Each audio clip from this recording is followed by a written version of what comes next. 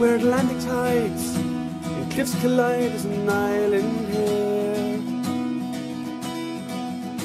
Where seagulls cry and where tears once filled so many starving eyes. After years of sowing in tears and walking by faith, the Broadcasting Commission of Ireland granted the first fully licensed Christian radio station in the Republic of Ireland.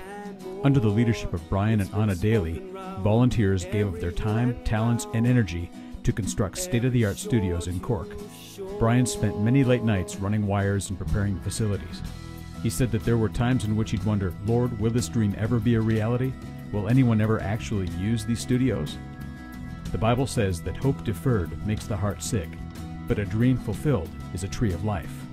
That hope has been deferred for many years, but on the 16th of March 2008, Ireland's first full time Christian radio station began broadcasting 93.1 Life FM. shining as light. It's the message here, been here a thousand years, a thousand years and more. It's been spoken round every hill and ground. With a mix of music, including carefully chosen mainstream, contemporary Christian, and Irish, combined with continuous coverage of news and current events, and programs that tell the story of God at work in the lives of real people, our hope is to help bring hope to the people of Cork by assisting them to see beyond religion and to see, perhaps for the first time, the real Jesus.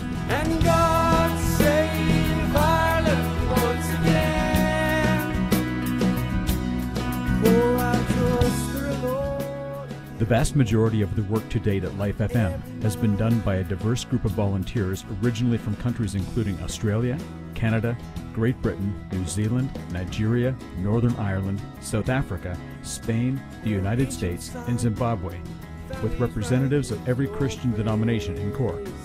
Most of the volunteers have had no previous radio training, but Life FM seeks to develop skills and to train those with a heart for God's work.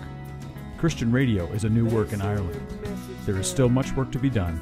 Opportunities are more numerous, so please pray that more laborers be sent into the harvest.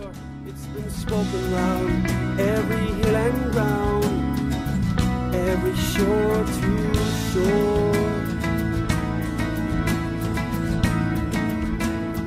As Life FM station manager Brian Daly said, This is not the work of any man or woman, but the work of God. It is God who has brought us to this point, and we are looking to Him to do great things in Cork.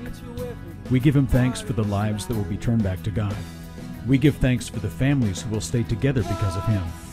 We give thanks for the suicides that will be averted. We give thanks for all the people who will become friends of Jesus and sons of God. We give thanks for all of those who have prayed and given of their time and finances.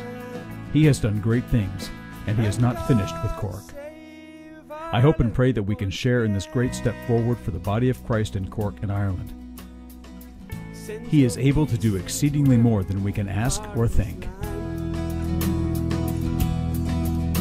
And God save Ireland once again. Pour out your spirit, Lord, on every woman, on every man. Thanks for helping 93.1 Life FM, shining the light over Cork.